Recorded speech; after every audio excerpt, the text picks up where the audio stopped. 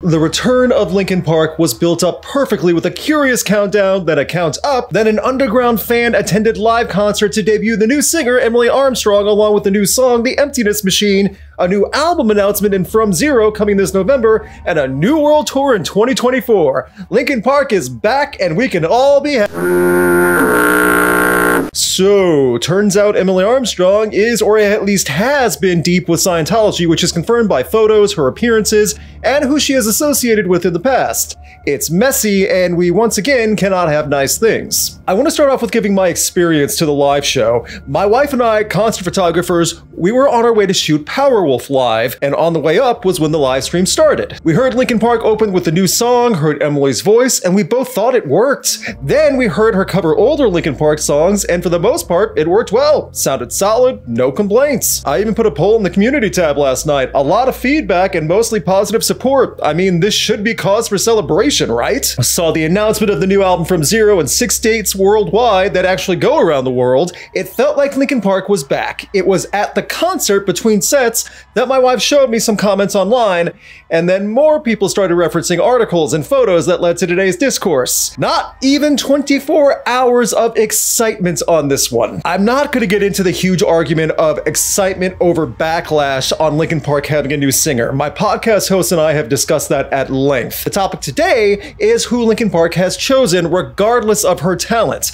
Again, I thought she sounded fine. What does not sound fine is that she was and possibly still is deep into Scientology. Not only are there many photos floating around of Armstrong at Scientology events, but Cedric Bixler Zavala of the Mars Volta and at the Drive-In, who with his wife helped open up the evils of Scientology and put Danny Masterson in jail, has come out swinging about Emily Armstrong and her, uh, past. Whether she was born into Scientology or not is one thing, but it was confirmed that she was a supporter of criminal Danny Masterson, who did unspeakable things to women for years, and the Church of Scientology helped support and keep his behavior down for years until it was all made public. So much of a supporter that she apparently showed up in his SA trial just in support. She wasn't testifying or anything, but just there for him to support Masterson in his SA trial.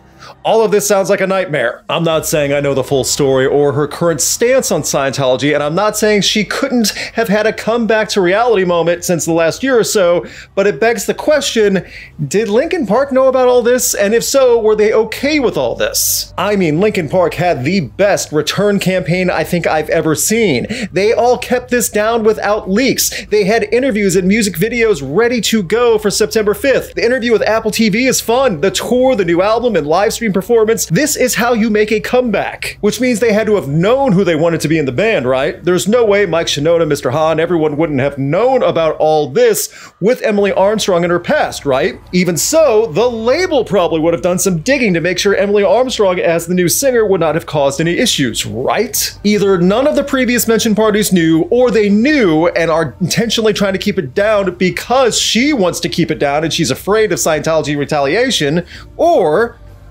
they knew and just didn't care. And that last one is really bad if that's the case. I hope it's not true. And we know she has ties to Scientology no matter what. Whether she's born into the church or not, her standing next to Cedric at a Scientology gala years ago proves quite a bit. Speaking of Cedric, it was yesterday that he made a statement about Linkin Park choosing Armstrong. It's since been removed, but here's the quote. Remember when we did the purification rundown, Emily, because of what my wife knew? Why can't you shut your mouth during the detox program where people are going through some rough stuff because you're singing like an unsupervised unsupervised child? Is it because you're born into Scientology that gets a pass? How do you reconcile the homophobia found in the teachings of LRH's book Dianetics? Do your fans know about your friend Danny Masterson? This is just some of the stuff he said, and it's literally Cedric recapping his own personal experience with detoxing and everything within Scientology with Emily Armstrong and accusing Emily and the Scientologists of all the things that happened that were confirmed to have happened. As of recording this, it has not even been 24 hours since the live stream, and we are already in the thick of what could be a PR nightmare at best and another nightmare chapter for Linkin Park at worst. Again, the comeback campaign and how it was run was all done so well. The hype was gargantuan, and there was a little beam of sunshine coming from Linkin Park as we have heard the live performances from our favorite Linkin Park songs. Here's one crucial point I want to bring up. Let's say she's been trying to distance herself from Scientology and wanted to get out of it for a while. Armstrong would have had to keep that quiet because Scientology has a history of going after people from stalking them to much worse than stalking. If she was born into Scientology, that means her family is involved with it also, and it could mean her family could be in trouble. See how messy this all is? And if that's the case, then I can understand why Linkin Park would not want to address any of this for Emily's safety. Maybe she's trying to get out of Scientology and she had that come to reality moment, but she can't go public with it for fear of her or her family's safety. Or she's still in the church and we don't know. We're kind of grasping at straws, but this is a big situation, and Emily Armstrong is now at the focal point of the world of music right now.